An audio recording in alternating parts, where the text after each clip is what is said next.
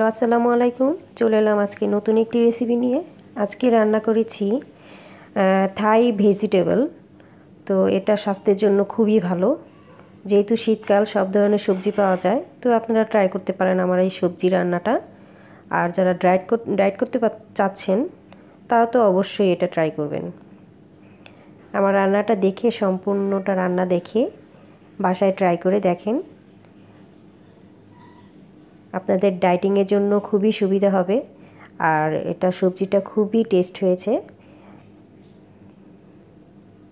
সম্পূর্ণ রান্নাটা চলুন দেখে আসি, কি কি লাগল? ফুলকপি নিয়েছি আমি, একটু বড় বড় করে কেটে। ব্রোকলি নিয়েছি, সম্পূর্ণ ফুলকপির মতো এক সাইজ করে কেটে নিয়েছি। আর মটরশুঁটি নিয়েছি আমি। ক্যাপসিকাম নিয়েছি তিন ধরনের। দেখতে খুব সুন্দর লাগবে, একটু কালারফুল আর বাটার নিয়েছি, রসুনগুলো কুচি কুচি করে নিয়েছি, আদা এভাবে কুচি করে নিয়েছি। শুকনো মরিচের ভিতর থেকে বিচিগুলো আমি ফেলে দিয়েছি, এভাবে কেটে নিয়েছি। আর একটু স্বাদের জন্য নিয়েছি অল্প একটু চিনি। আর এটা হচ্ছে সয়া সস এটা আমার দুইবারে কাজে লাগবে, তাই একটু বেশি নিয়েছি। আর টমেটো সস আপনারা চিলি সস ইউজ করতে পারেন। তো আমি যেহেতু মরিচ দিয়েছি, তাই দিইনি।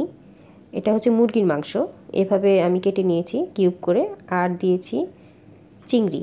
এটা আপনাদের অপশন যেটা আপনাদের ঘরে থাকবে। মুরগিও দিতে পারেন, চিংড়িও দিতে পারেন, সমস্যা নাই। আমি একটা পানি বলক আসার পরে ওই পানিটার মধ্যে আমি মটরশুঁটিগুলো আগে দিয়েছি। আমি চিন্তা করতেছি যে কালারটা যাতে নষ্ট না হয়, তাই পানিটা একদম গরম ওই অবস্থায় আমি মটরশুঁটি দিয়ে দিয়েছি। মটরশুঁটিগুলো হয়ে আসবে একটু, দেখলেই বুঝতে পারবেন কালারটা। তারপর আমি ফুলকপি, ব্রুকুলি দিয়ে দিব। একটু সাবধানে দিবেন, কারণ পানিটা এত গরম যে আমার হাতে ছিটে আসতে নিয়েছিল। আস্তে আস্তে দিবেন, একবারে ঢেলে দিয়েন না।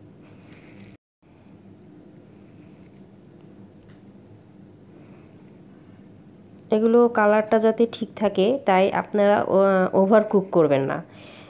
এক থেকে দুই মিনিট একদম চুলার আঁচটা বাড়িয়ে দিবেন।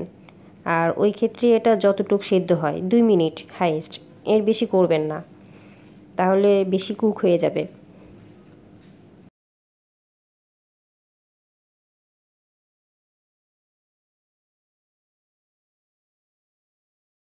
দুই মিনিট পরে এটার কালার দেখুন একদম সুন্দর হয়েছে। এখন আমি এটা বেসিনে একটা জালের মধ্যে কলের পানি ছেড়ে দিয়েছি আর ওই পানির মধ্যে আমি এগুলো ঢেলে দিব।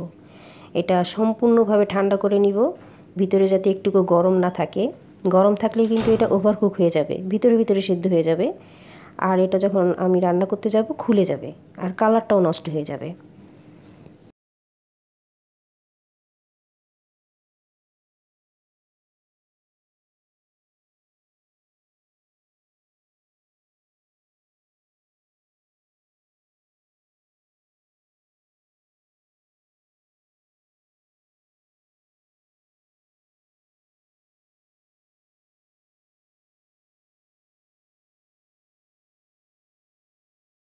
এখন একটা হাঁড়িতে আমি বাটারগুলো দিয়ে দিচ্ছি।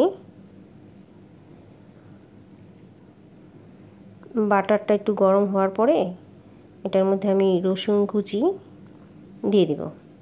রসুন কুচি দিয়ে দিচ্ছি। আর রসুন কুচিগুলো একটু হালকা নেতিয়ে আসলে পুরোপুরি লাল হবে না।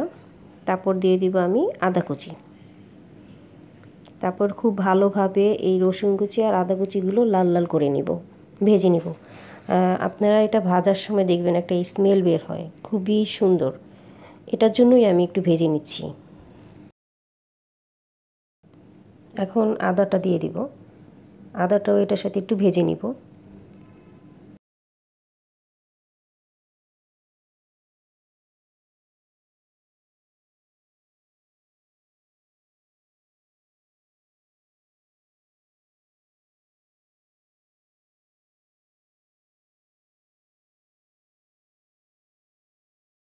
এই যে এরকম একটু লাল লাল ভাজা ভাজা হবে আর একটু স্মেল বের হবে।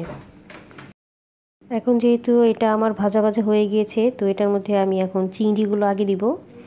একটু নাড়াচাড়া করে তারপরে দিব হচ্ছে আমি মুরগি, যেগুলো কেটে রেখেছিলাম কিউব করে। একটু ভাজা ভাজা করে নিব।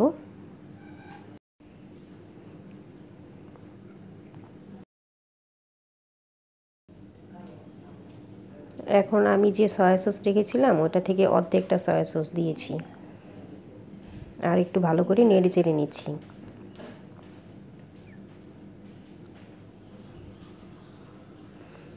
মুরগি আর চিংড়িটা একটু ভালোভাবে সিদ্ধ হবে, এর জন্য নাড়াচাড়া করে নিচ্ছি। আর একটা একটা করে মশলা অ্যাড করব এটার মধ্যে। সেদ্ধ হওয়ার জন্য একটু রাখলাম রেস্ট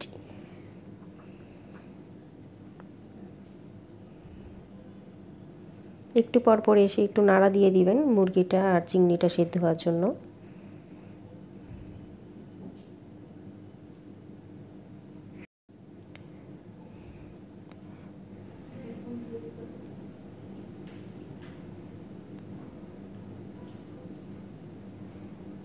দেখুন মুরগিটা মুরগিটার সাথে এখন মরিচগুলো দিয়ে দিলাম। আমি এখন এটার মধ্যে। আর খুব ভালোভাবে মিশিয়ে নিব। এখন যে অল্প একটু চিনি রেখেছিলাম, ওটাও মিক্সড করে দিচ্ছি।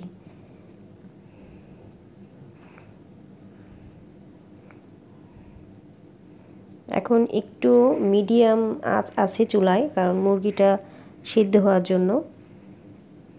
টমেটো সসগুলো আমি অ্যাড করে দিচ্ছি, যতটুক নিয়েছিলাম আমি।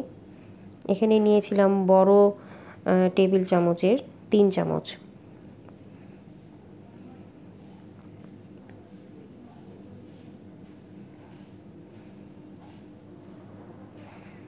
এখনও একটু একটু পানি দেখা যাচ্ছে। যখন এটা পুরোপুরি শুকিয়ে যাবে, একদম থিকনিক্স আসবে, তখন আমি একটা করে সবজি অ্যাড করব।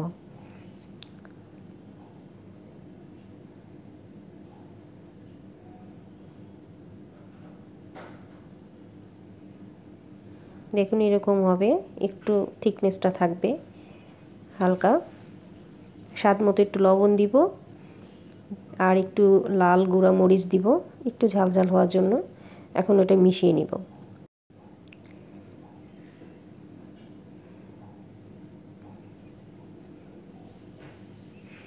এটা খুব ভালোভাবে মেশানো হয়ে গেলে, মুরগির মাংসটা সিদ্ধ হয়ে গেলে আমি ক্যাপসিকামগুলো দিয়ে দিব। আর ক্যাপসিকামগুলো আমি ওভারকুক করব না। রান্না করব, কিন্তু একটু কচকচে ভাপও থাকবে। কালারটাও সুন্দর থাকবে। আর বাকি যে সয়া সসটুক ছিল, ওটা আমি অ্যাড করে দিয়েছি। এখন খুব ভালোভাবে মিশাবো। হালকা একটু সিদ্ধ করার অপেক্ষায় থাকব আর নাড়তে থাকব, যাতে কালার নষ্ট না হয়। নাড়তে থাকব।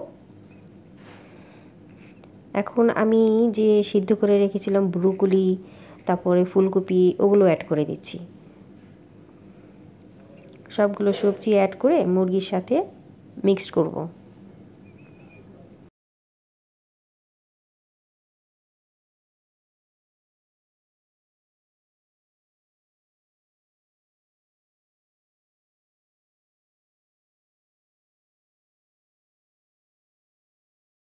দেওয়ার পরে আমি চুলার আঁচটা একদম বাড়িয়ে দিয়েছি, যাতে সবজির কালার নষ্ট না হয়। কারণ থাই যে ভেজিটেবল এটা দেখতে কিন্তু কালারের উপরেই ডিপেন্ড করে, খুবই সুন্দর দেখায় কিন্তু জিনিসটা। কালার নষ্ট হয়ে গেলে নষ্ট হয়ে যাবে।